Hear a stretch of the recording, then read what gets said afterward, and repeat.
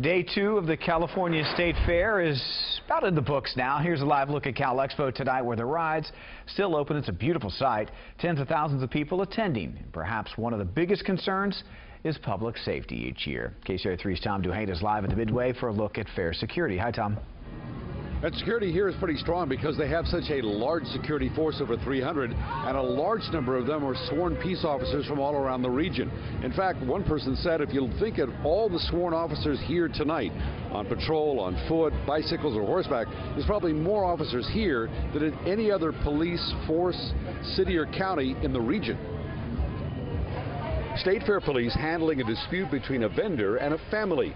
Keeping the peace here is the top priority.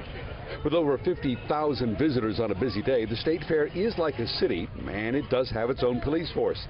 What's the most common problem they face? One of the biggest issues we have, obviously, is alcohol issues. Um, there are people that, that want to come out and have a good time and unfortunately don't know when to stop. Saturday, there were over 100 police officers on duty, and the families here are noticing. Do you feel this fair is safe? Very safe. How come?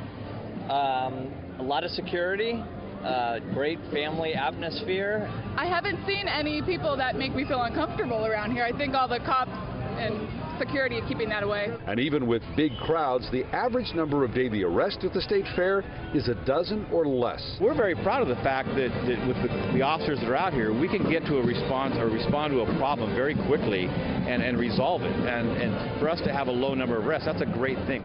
And the fair has added extra security cameras.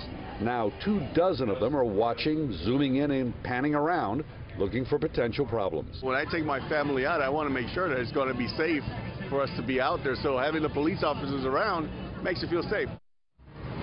Also working out here are undercover officers, there are gang officers, there's parole officers, but they say they're not here for confrontation, they're here to diffuse problems and make sure that people feel like they're safe and having a good time.